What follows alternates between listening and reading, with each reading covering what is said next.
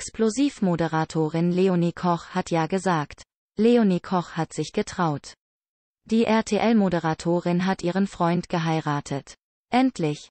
Könnte man sagen, immerhin musste das Paar lange auf den schönsten Tag seines Lebens warten. Warum die Planung ihrer Hochzeit so chaotisch war, das erfahren Sie in unserem Video. Bereits im Oktober 2020 verkündet das TV-Gesicht voller Stolz. Ja. Ich bin verlobt. Auf ihrem Instagram-Account teilt Leonie ein Bild von sich und ihrem Schatz, den sie bewusst aus der Öffentlichkeit heraushält, und schreibt, um es mit den Worten von Beyoncé zu sagen, He likes it and he put a ring on it. Den Partner an ihrer Seite beschreibt die Journalistin als das ganz große Glück in ihrem Leben.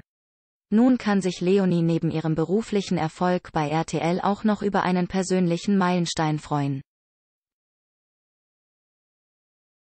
Über ihr ganz persönliches für immer. Die Moderatorin ist seit Januar 2020 bei RTL. Leonie unterstützt das Moderatorenteam bei Explosiv seit Januar 2020 ist aber schon lange in der Medienwelt unterwegs. Die gebürtige Münsteranerin unternahm ihre ersten Schritte beim Lokalradio Antenne Münster. Später wechselte sie dann zum Hessischen Rundfunk, wo sie sowohl im TV als auch in verschiedenen Radioformaten journalistische Erfahrungen sammelte.